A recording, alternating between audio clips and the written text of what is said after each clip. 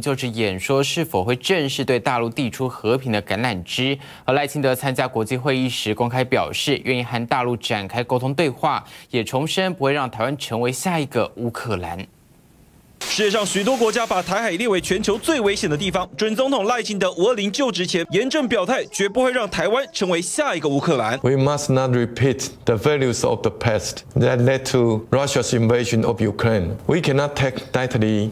the threats of the authoritarian states, nor can we bow down to their expansion. 以录影方式受邀哥本哈根民主高峰会，赖清德更在欧洲国家面前向大陆示出沟通的善意，而国台办同样对即将到来的五二零就职高度关注。We will work to safeguard the status quo on both sides. I will not rule out dialogue with China on the principles of mutual respect with no preconditions. 要和平，不要战争；要交流，不要分离。 是顺应民意走和平发展的正道，还是背逆民意走挑衅对抗的邪路？关乎台海和平稳定，必须严肃面对，明确回答。各界判断赖清德将在就职演说中正式对大陆递出和平的橄榄枝，朝野同样期盼两岸交流能有所突破。大家都希望五二零之后能够翻篇，让对抗的局势缓和下来。上进入的第一个深水区陆客的来台的团客这部分的禁令能不能有进一步的松绑？这些都是。是在赖清德一念之间，两岸如果不改善，就会像八年下来一事无成，包括观光啊，包括两岸的商业的对流啊，这个都是台湾人们所期待的。尤其农产品那更严重，先抛出善意，并非就是弱者；抛出善意，反而人家会感觉到你是雍容大度。蔡文做不到的，能否在五二零后出现转机？如何让台湾与大陆破冰，甚至春暖花开，正常发展，成了赖清德上。上任后的第一道必考题。记者杨杰宇君 S 幺组台北报道。